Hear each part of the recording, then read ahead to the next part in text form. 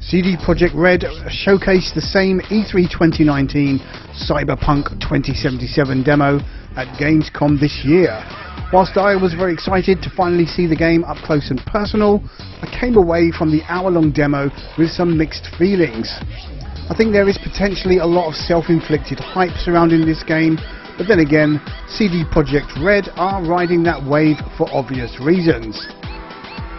In part though, there is a sense that some of the hype is justified. They are one of several Polish-based developers pushing cyberpunk themes into the mainstream, which in itself you can view as either a positive or negative. So that's a good start in my view. Personally, I love cyberpunk themes, and perhaps whilst I'm not as invested as the most die-hard individuals, I feel I have a decent grasp of what it represents. I've delved into the William Gibson novels and kept up to speed on various cyberpunk movies and video games. Interestingly, speaking with the developers of another cyberpunk themed game in development, we laughed in respectful agreement that Polish developers seemingly lead the charge at this current time. Now some might scoff and suggest ever since CD Projekt Red revealed their game, smaller studios and developers look like they're cashing in on the current wave. From the outside, it might look that way, but when you delve beneath the surface, you will notice some developers seem keen to explore alternative cyberpunk themed avenues, which is positively welcomed in my book. Onto the Cyberpunk 2077 demo then. Before I venture too deeply into any specifics, I'll describe how I felt after the rather scripted and well rehearsed presentation not necessarily swayed by the cool and well sought after Cyberpunk 2077 jacket they gave to all in attendance, but pleasantly surprised all the same. The press only booth operators were running a tight ship, rather successfully as far as I could ascertain. Now initially I had mixed feelings about the gameplay, which to me sided on the somewhat generic and expected, rather than anything groundbreaking or inspiring.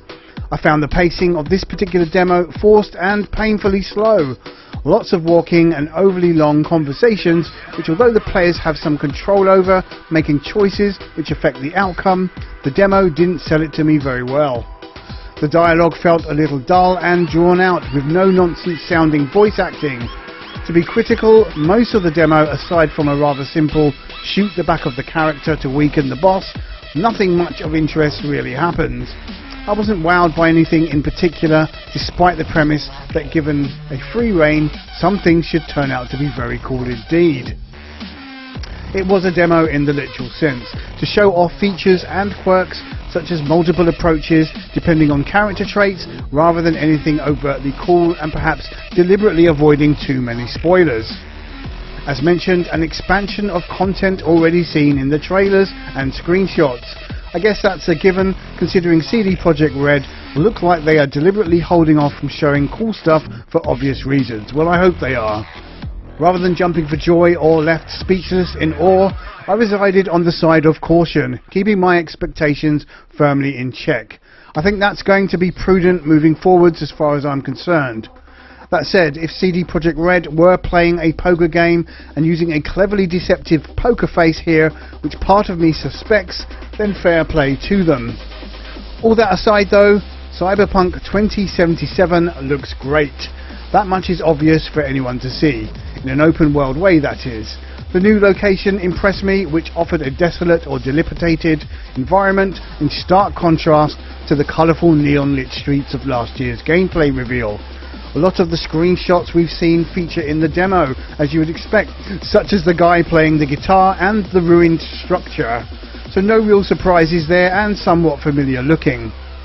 With Mike Pondsmith and an obviously dedicated and well versed team of artists and researchers, the distinct concepts, visual style and art direction is of a high standard as far as I could tell. I felt in tune with the alternative reality possibility towards the end of the demo where your character heads into cyberspace post freezing in a bath of ice cold water. Hopefully this theme expands further as is suggested. From a technical standpoint, I noticed canned animations from NPCs and scripted actions, but that is a given in an open world game such as this. Interestingly, Night City hasn't showcased its After Dark nightlife yet, aside from brief glimpses in the reveal trailer and the E3 CGI. I suspect that moment will reveal itself closer to release. The brightly lit streets radiate a different vibe then as a result in my view. Perhaps from a visual standpoint a darker flavour presents unseen dangers as the freaks come out at night. The particular daytime mission in the demo felt structured in a way to simply highlight how a quest or story mission works in practice. We saw the character riding a motorcycle, a touch on the character customization options and some twists or turns of who you side with. The hour long demo served its purpose. For me the 48 minute video from last year set the scene, the trailer laid the foundations for the story and this demo rounded off the gameplay features not touched upon in last year's action scenes. Cyberpunk 2077 is in an interesting place right now. It has the makings of a really great game oozing a coolness that's basked in style. However, if its structure rests solely on the cyberpunk visual elements to carry it through and veers towards over-familiar gameplay tropes, then it might not receive the glowing praise across the board. For me, I'm still excited, perhaps less so than before, but then again, accepting of the fact I've not actually played the game. And CD Projekt Red look like adopting a very careful approach in how they present their offering. I think in some ways their current method works for and against them in equal measure. That said, I can agree with the condensed 15 minute stream. I suspect if the hour long demo released publicly, the internet would simply explode in a sea of polarised opinions.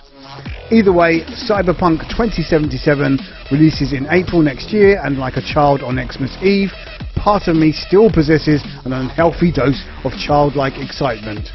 Okay, I'm Rob Cram, thanks for watching.